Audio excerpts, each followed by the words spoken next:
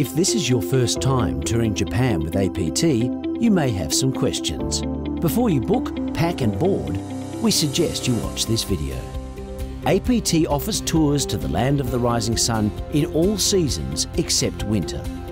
In spring, expect mild days and cool evenings. In summer, the weather can be hot and humid with showers. In autumn, while sometimes varied, the weather is mostly still warm. Of course, the best way to cater for all climates is to simply pack layers. Include a rain jacket and comfortable waterproof walking shoes.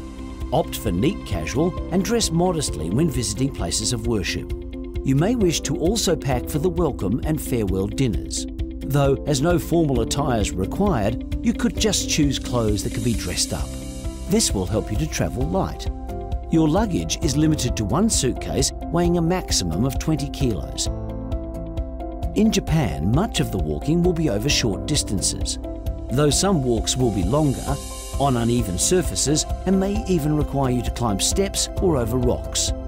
If unsure though, you can call us to clarify the activity level of your planned trip prior to booking. Check with your doctor or travel clinic about vaccinations. Just make an appointment 8 to 10 weeks prior to departure. In Japan, the yen is the official currency, of course, if you have questions about health, currency or government requirements, you can always speak with APT or ask your travel agent. A knowledgeable APT tour director will guide you expertly throughout Japan. You'll also be joined by English-speaking local guides at most locations. These guides will highlight the sites from a unique perspective.